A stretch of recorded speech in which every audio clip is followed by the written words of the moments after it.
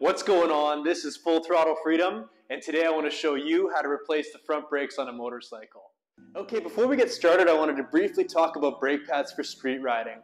When it comes to street bikes, brakes can be separated into three main categories, sintered, semi-sintered, and organic. Each of these three is going to have its own set of pros and cons. Sinter pads, also known as metallic brake pads, are going to be your best performing pad, but they're going to come at a cost. They're also going to be your most expensive. On the other hand, you're going to have organic brake pads, which are a little bit less expensive, but you might sacrifice some performance with that. And then right in the middle, you're going to have semi-sintered, also known as semi-metallic brake pads, which are just going to be your middle ground between the two extremes. What you'll see in front of me is a few items that you want to grab before you start. First of all, get yourself some brake pads. I decided to go with the EBC EPFA Extreme Pro Sinter brake pads. These guys have a double H designation, which is really interesting. H represents the highest level of friction a pad can give, and then the double H means that the pad retains its level of friction when hot or cold. Next, get yourself some brake clean, brake specific lubricant, ideally silicone based, a wrench and the bits that you need, some measuring tools if you'd like to inspect the old brakes, a torque wrench, and I'd highly recommend getting yourself a service manual specific for your bikes so that you have the torque specs, procedures, and any service limits as well. Okay, let's get into it. So the first thing you're going to want to do is remove your caliper mounting bolts.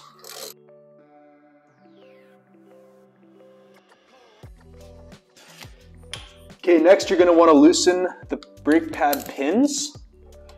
Just loosen, not remove yet. Okay, and then you're going to want to fully remove the caliper.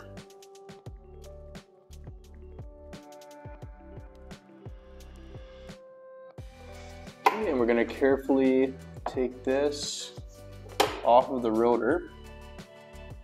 Okay, and then you're going to fully remove the brake pad pins while making sure to hold the springs in place so that everything doesn't fly apart.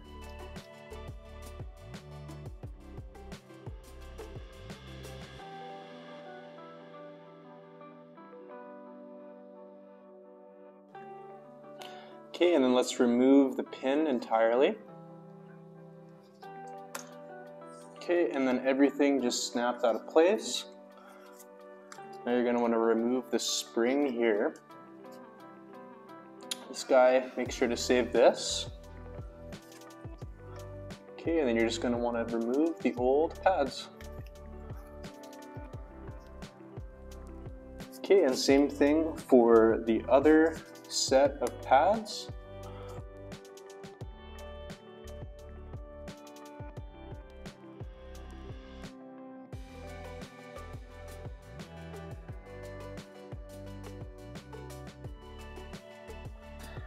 Okay, and I highly recommend grabbing something to set the caliper down on. That way the weight of the caliper isn't completely suspended from the brake hose. So I'm just going to use a bucket here.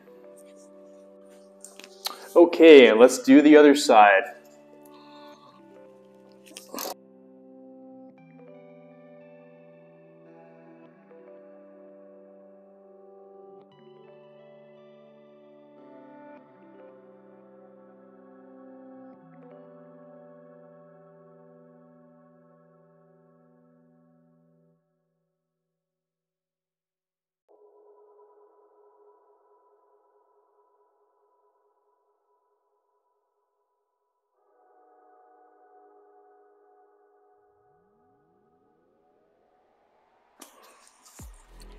Okay, and that's both sides. So I'm gonna set this caliper down as well.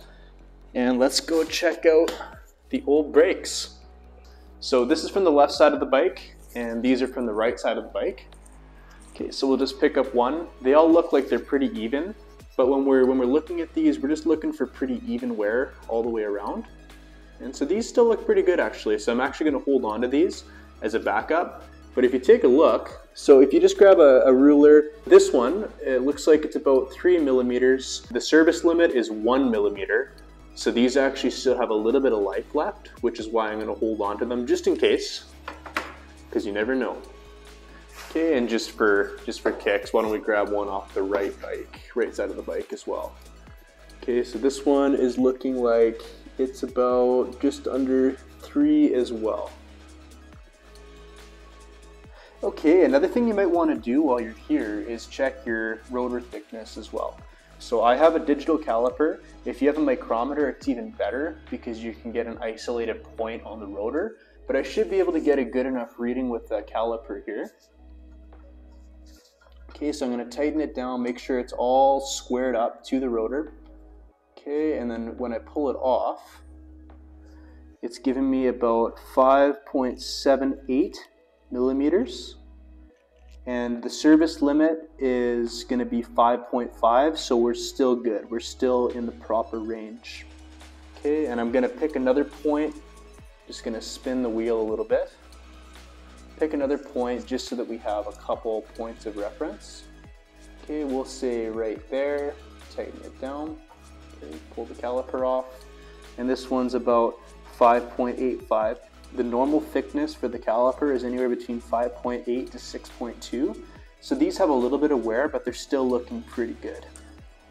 Okay, now it's time to clean up the calipers and the hardware and the rotors as well. So grab yourself some brake clean and we're just gonna spray it all over.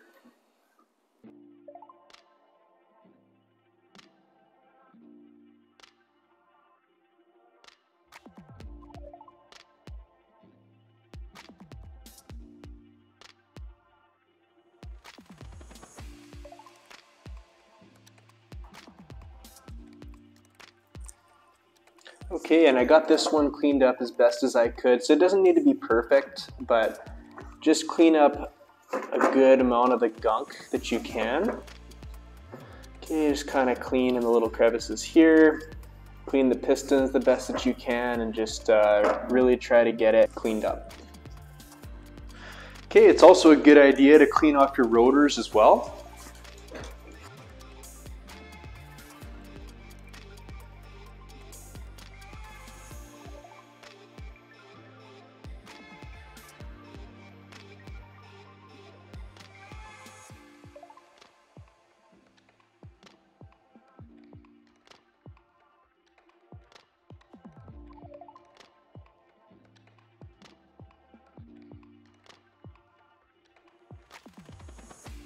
I'm also going to take a little bit of time to clean up the old hardware as well.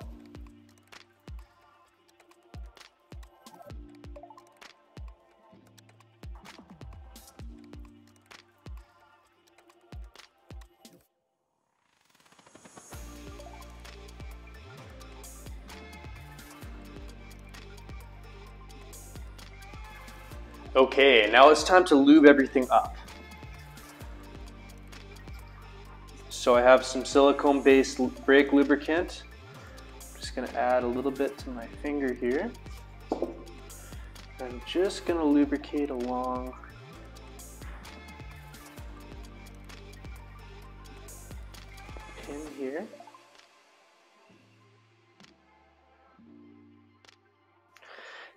And then we're also going to add a little bit of lubricant to the back of the brake pads. Very important that you do this on the back and not the front. Otherwise, you're not going to stop.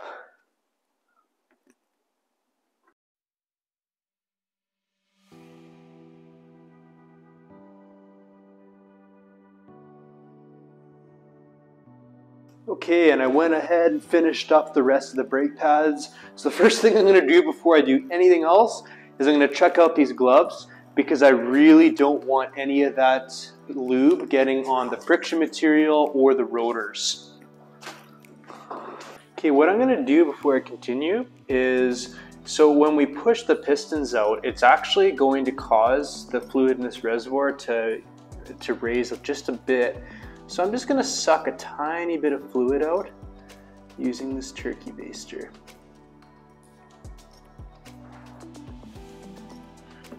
Just gonna leave this in my brake bucket.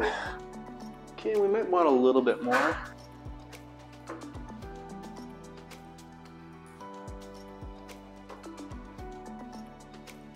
And we'll call that good. Okay, and now we're gonna carefully push out the pistons.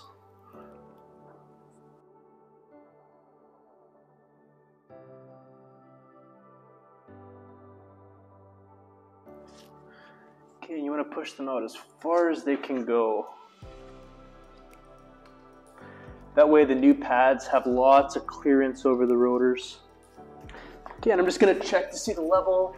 So it already, here I wanna show you, it already moved back up almost to the upper limit. So uh, we're just gonna watch it on the other rotor and see how we're doing on that fluid level. So I don't know if you can see that really well, but the, but the pistons are pretty much pushed back as far as they can go, all four of them. What we're gonna do now is we're gonna start putting everything back together. Okay, so we're gonna start with the brake pad.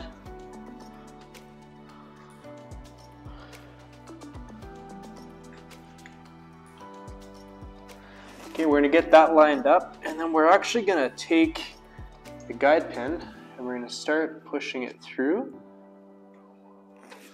so that everything's lined up. Okay, take our pin and get that in its place.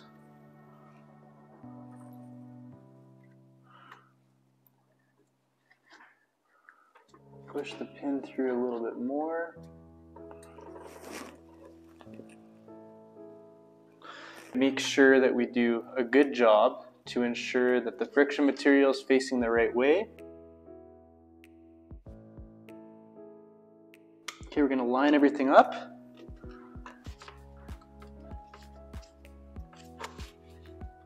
Okay, and once you have everything lined back up, you're just going to take the pad, pin, and screw it in so that things don't come out of place again.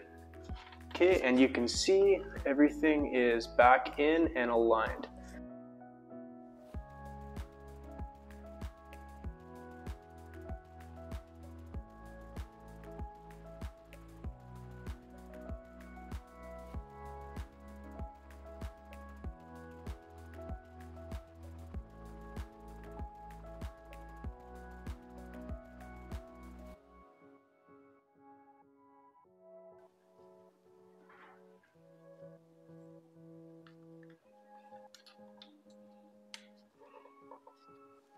Okay, and now that we have everything lined up, we're going to reinstall the caliper.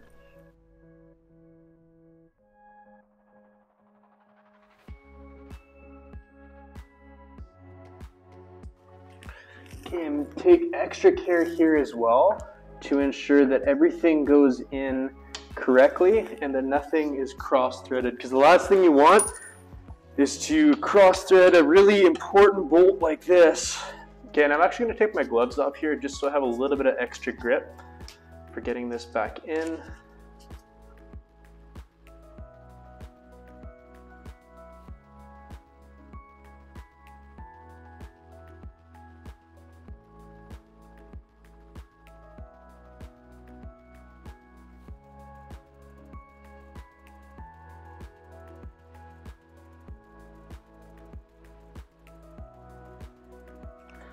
Okay, and I think that's as far as we're gonna go by hand. Okay, we're gonna do the same exact thing on the other side of the bike.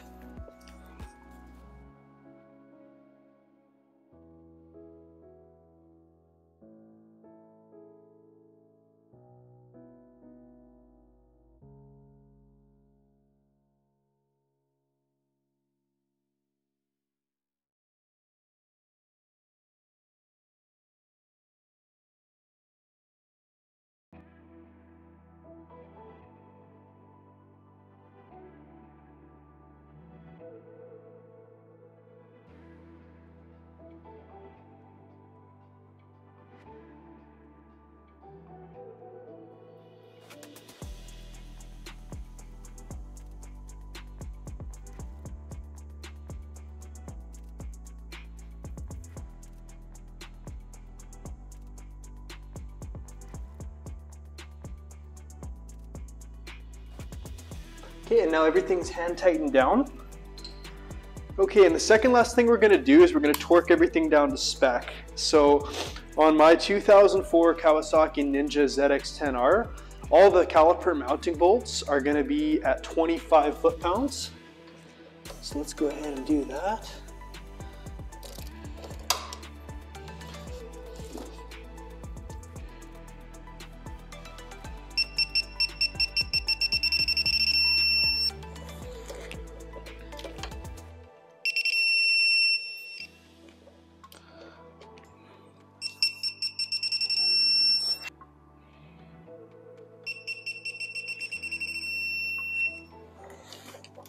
Okay, and the brake pad pins are going to be set to 11 foot-pounds.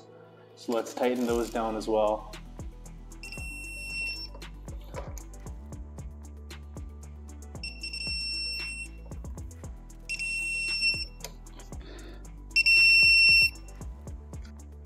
Okay, let's take a look at my work. Okay, so everything went in straight, which is good. You can see those clips are facing the right way. All of my brake pads are facing the right way. The friction material's towards the rotor, which is very important. Okay, everything's torqued down to what it should be. Let's check the other side.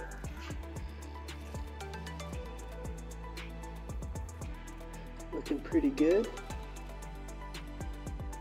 Okay, and the very last thing you're gonna wanna do before you finish up is you're gonna wanna pump the brakes to ensure that those brake pads are flush against the rotor. So that's what I was talking about with the brake fluid. We're gonna use some of that to push the brakes back to where they need to be. So what you'll find is when you first pump the brakes, it's gonna be very squishy. It's gonna come all the way down actually. So you're just gonna keep pumping and that fluid's gonna go through.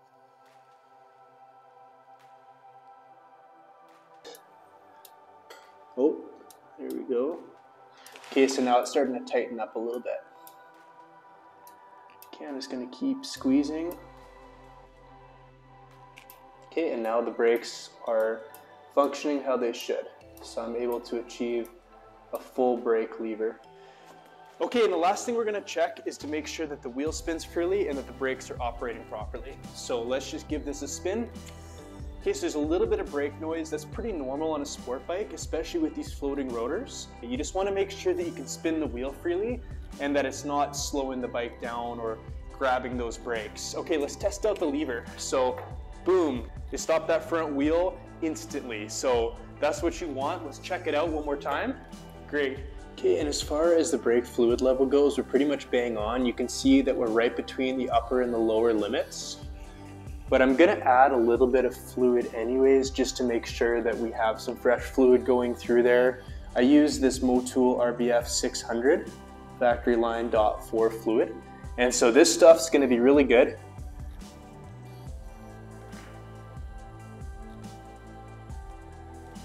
Okay. And we're gonna call that good. Finally, let's be sure to secure that reservoir cap so that we can complete our job.